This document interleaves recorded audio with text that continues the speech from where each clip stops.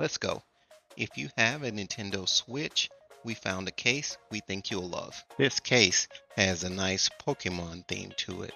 It actually holds up to 48 Switch games and then has a spot for up to 24 SD cards. So it's perfect for the gamer on the go.